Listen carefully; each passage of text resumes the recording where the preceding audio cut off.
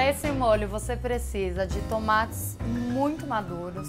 Faço uma cruz nas pontas, coloco ele numa água fervendo, tiro a pele, abro ele, tiro a semente, vou cortar uma cebola no meio, vou tirar a casca, vou limpar bem o alho, vou usar ele inteiro assim. Aqui, como vocês viram antes, eu já tirei a pele e a semente do tomate. Agora eu vou picar ele grosseiramente. Azeite.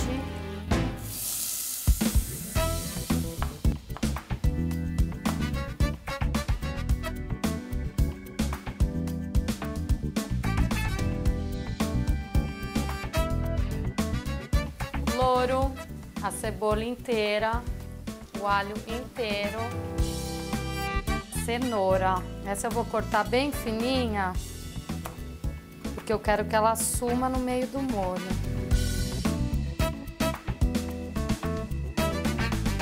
Um dos meus segredos é o alho poró, que eu também vou cortar bem fininho.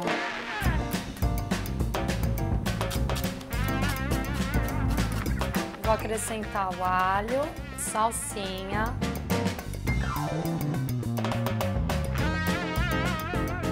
alecrim, tomilho, sálvia,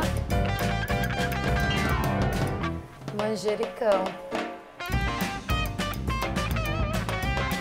O bizu desse molho, combo, é uma alga marinha que vai salgar e temperar ainda mais nosso molho.